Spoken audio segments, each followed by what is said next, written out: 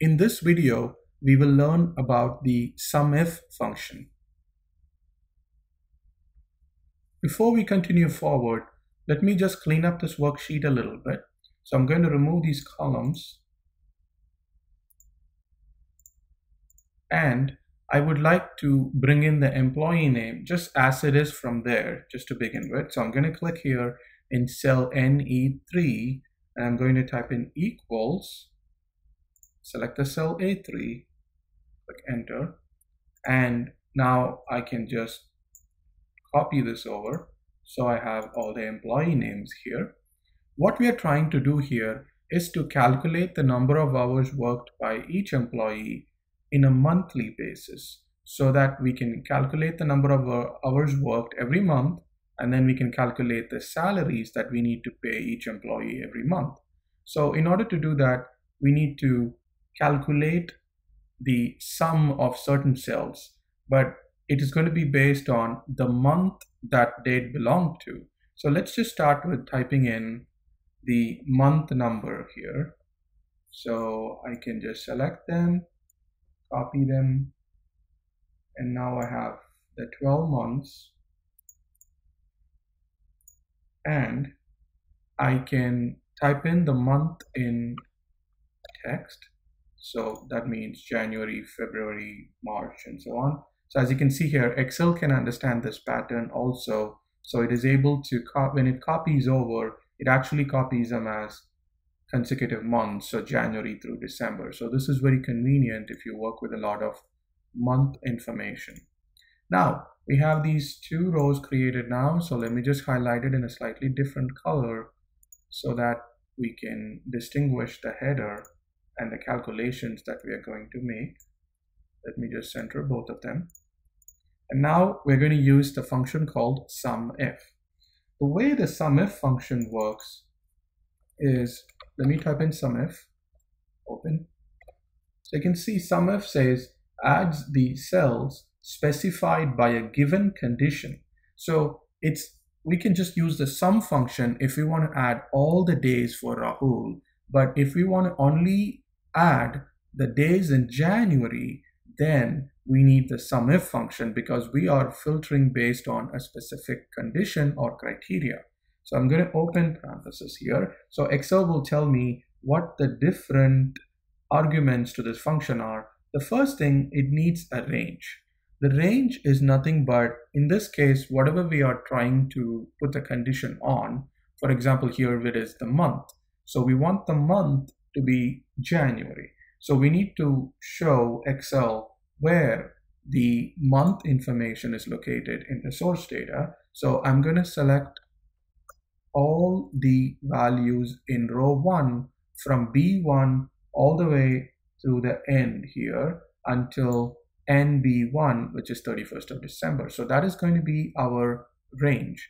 And we want this range to be the same for all the employees all the time because this is the month information for all the 365 days. So in order to do that, we have to lock these and make them as absolute references so that it doesn't change when I copy the formula over. So in order to do that, we can put dollar symbols separately or while we are in this point mode or while we are in this mode of actually selecting the range or the argument here, then I can just hit F4 key.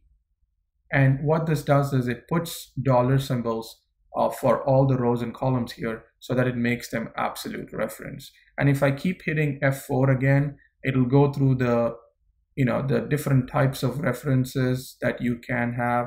And here we don't have anything, but what we need is this. So this F4 keyboard shortcut we'll toggle through the different options, but we this is the option we need. So I'm going to keep it here and then put a comma. And the next um, argument for this function is the criteria. So for Rahul and in this specific um, cell that we're trying to calculate for January, we need to give the criteria, which is January. So I'm going to select this because this is the month number we need to match. And since this information is in numbers of the month numbers, so we are using this to as a criteria against that.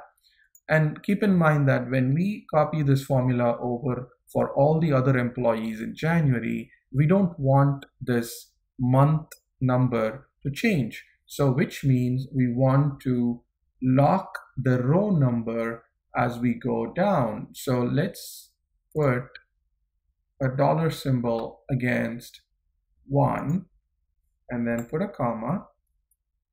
And then the last argument is what are we trying to sum? We are trying to sum up all the number of hours worked by Rahul. So we are going to select this and we will have, we have selected B3 to the December 31st, which is NB3. And this is going to be the summing range because we want to sum up all the values, all the number of hours worked by Rahul on days where the month number is January or month number is 1. So now we are done with it. The fi final thing is when we copy this formula over to other other employees, we want the row number to change and but the column number as we move to the next few months we don't want it to change. We want we want all these 365 days to be evaluated against. In order for us to lock this down we would like to lock the column b and NB3 here because as we copy this formula over we want nisha to look at the same 365 columns but it needs to be in row number 4 for Nisha, row number 5 for Anjali. So we'll, we'll look at it after we enter it so that we can understand better. I'm going to close this and now that we are done with this function, I'm going to hit enter.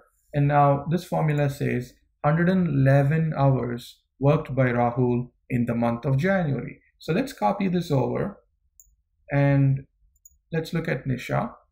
For Nisha, it is actually looking at the month number information in the top row, which is B1 to NB1, and then it's comparing that with 1 because we want to only find the data for month number equals 1.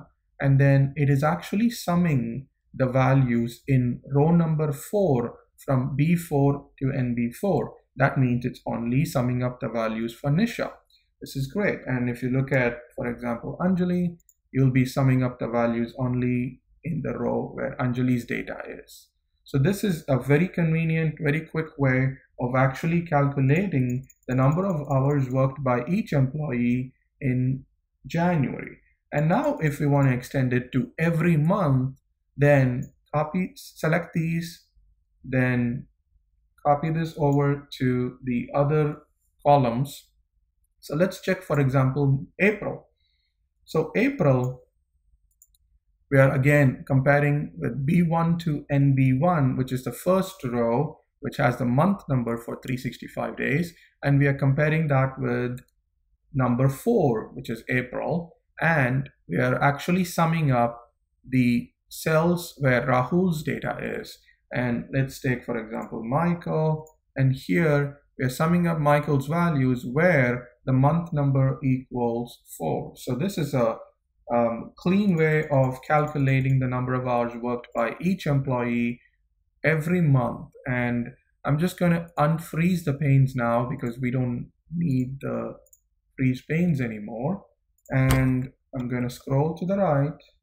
And now, there we go. So we have a nice table of hours worked by each employee every month. Now let me just